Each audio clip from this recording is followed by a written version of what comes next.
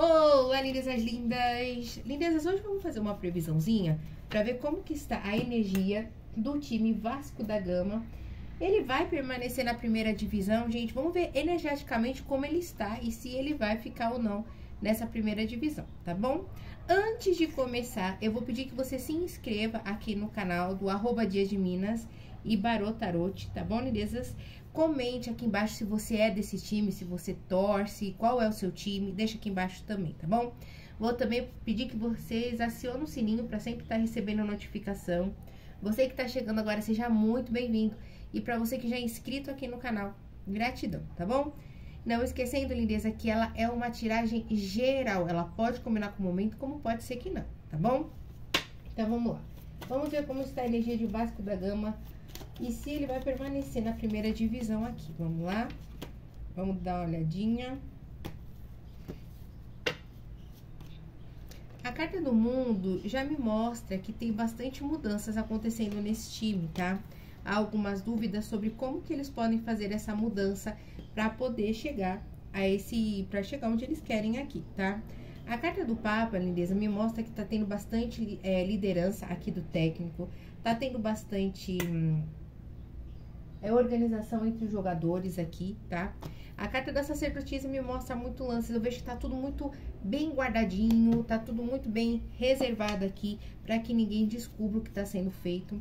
Os jogadores estão se esforçando bastante, estão tentando aqui para ter essa mudança. Aqui vai ter aqui.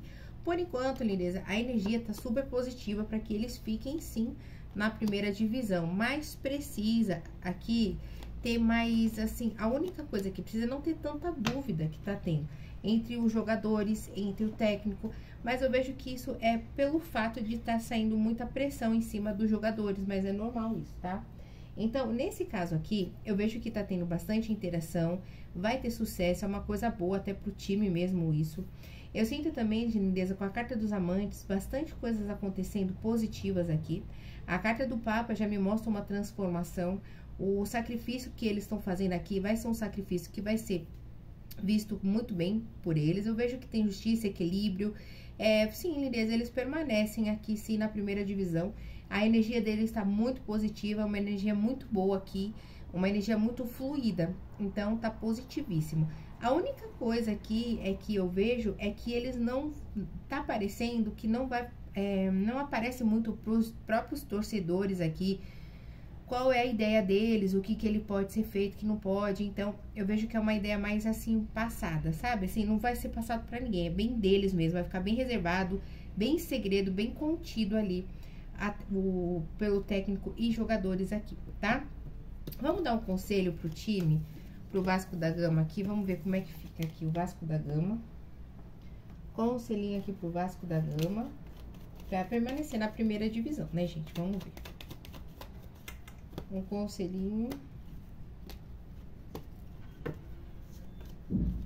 Olha, realmente sair dessa zona de conforto e ir para lances novos, jogar assim, mais com mais parceria, mais amizade entre eles aqui.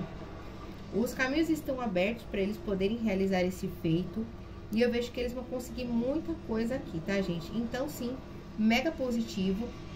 O único conselho é sair da mesmice, que é o que eles já estão fazendo. Sair da, é ficar procrastinando jogado, procrastinando alguma atitude que precisa ser feita. Também vai ser mudado aqui. Então, gente, eu vejo que aqui vai ter muita força entre os jogadores aqui. Então, positivíssimo aqui, tá? Então, sim, lindeza, se você é Vasco da Gama, o seu time vai ficar aqui ainda na primeira divisão, tá bom? Gratidão, lindeza. Não esquece de se inscrever aqui nos canais. Beijo, fica com Deus.